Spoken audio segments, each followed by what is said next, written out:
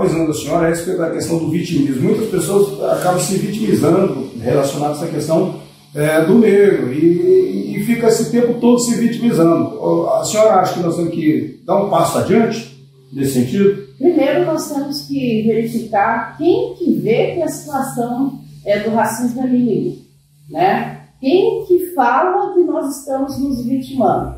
Eu não estou. Quando eu trago essa pauta, não é porque eu me coloco naquela situação de inferioridade que é, eu fico na acusação apenas. Né? O racismo dói, o racismo atinge a autoestima das pessoas. Né? Então, acho que a gente tem que discutir os efeitos dessas práticas racistas. E não é mimimi. Eu não quero que as pessoas me chamem de macaco, não é porque eu estou fazendo mimimi. Esse racismo recreativo, ele fere. Né? Ele coloca o, negro, a, a população negra em uma situação que não é brincadeira. É uma situação que fere, que machuca e que eu não quero ser vista de formas pejorativas. Né? Então, essas brincadeiras, esse mimimi, é mimimi para quem? Talvez para quem não sente as dores e os efeitos do racismo.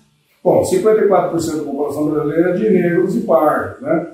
Então, portanto, a ampla maioria da população. E nós temos muitos negros e pessoas é, de muita capacidade que pode contribuir e colaborar com, com o nosso país, né, professor? Eu fico, as contas só estava dizendo na audiência pública, eu estava pensando assim, o maior escritor brasileiro é o negro, né? Que é o Machado de Assis. Por que as pessoas não valorizam as, as pessoas? Mas todos sabem que o Machado de Assis é negro, né? Nós tivemos algo que é, aí na imprensa, é, já tem algum tempo, né, uma propaganda que o Machado de Assis não era negro né, aquele que foi divulgado para toda a sociedade e precisou da militância do movimento negro co cobrar uma reparação e que reformulasse aquela campanha. Né? Então, muitas vezes tem a política do embranquecimento e que embranquece também os nossos negros que estão na luta, no sentido de, de, de não apresentar como negro, mas sim como não negro, esse protagonismo, e aí a gente tem Machado de Assis e tantos outros, né? Então, essa negritude que nós temos é, na ciência, na arte, na cultura, no esporte, ele precisa ser evidenciado.